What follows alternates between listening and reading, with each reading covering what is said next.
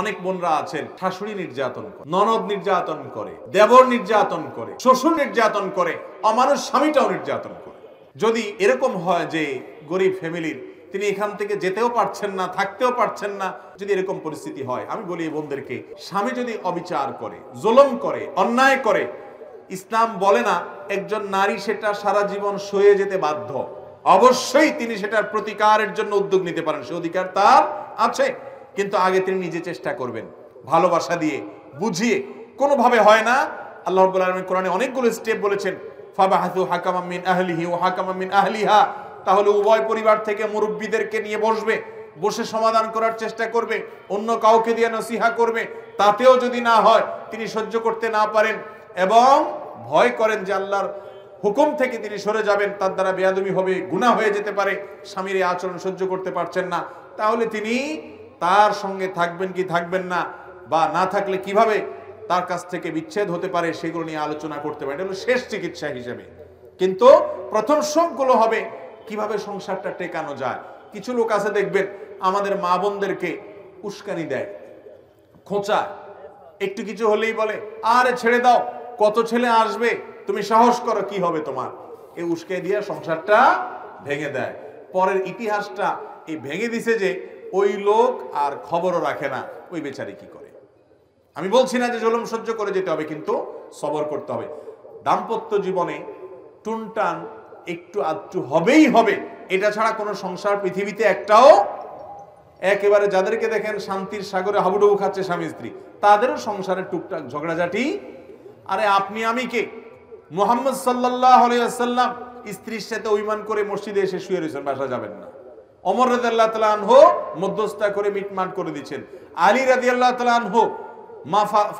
নবী করিম সাল্লামের কলিজার টুকরা ফাতেমা রাজি আল্লাহ তার সাথে অভিমান হয়েছে, মসজিদে এসে মাটিতে শুয়ে রয়েছে। নবী করিম সাল্লাম বলছেন ইয়াবু তোরা বো মাটির বাপ, কি হয়েছে? উঠো। তিনি যে মিটমাট করে দিলেন।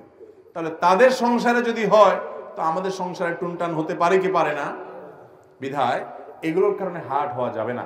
আপনার স্বামী খারাপ স্বামীকে ভালো করার চেষ্টা করেন। আপনার স্ত্রী খারাপ, স্ত্রীকে ভালো করার চেষ্টা করেন এবং শ্রদ্ধা ধরে রাখার চেষ্টা করেন। যদি কোনোভাবে কিছুতেই আর করা না যায়, তাহলে যেটা বললাম, পরবর্তী স্টেপগুলো অবলম্বন করবেন। আল্লাহ আমাদেরকে সবর করার তৌফিক দান করুন। অনেক বোনরা আছেন, শাশুড়ি নির্যাতন করে, ননদ নির্যাতন করে, দেবর নির্যাতন করে, শ্বশুর নির্যাতন করে, অমানুষ স্বামীটাও নির্যাতন করে। আছে না নাই?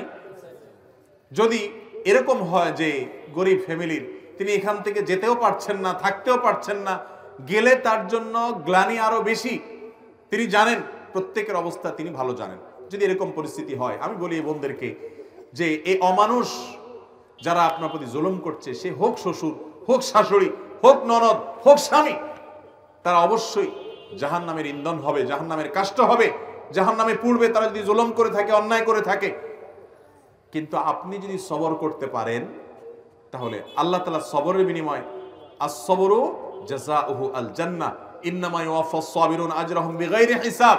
আল্লাহ তাআলা ধৈর্যশীলদের জান্নাত সময় কোনো হিসাব নিকাশ করবেন না, হিসাব ছাড়া জান্নাত দিবেন।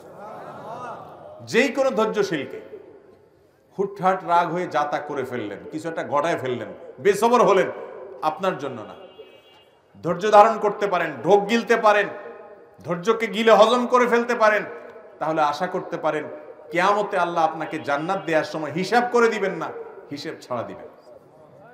আর সবাই ধৈর্যশীল হব হতো ইনশাআল্লাহ? অতএব আমাদের এই বোনের জন্য আমরা দোয়া করি, আল্লাহ তালা তাকে দাম্পত্য জীবনে সুখী করুন এবং স্বামী যে তার প্রতি দুর্ব্যবহার করছে, দুর্ব্যবহার করলে আপনি পাঁচ, চেষ্টা করবেন ভালোবাদ দিয়ে এটাকে সমাধান করার, ভালোবাসা দিয়ে সংশোধন করার, না পারলে অন্য কেউদেরকে দিয়ে প্রেসার দিবেন। এবং প্রয়োজন অভিমান করবেন।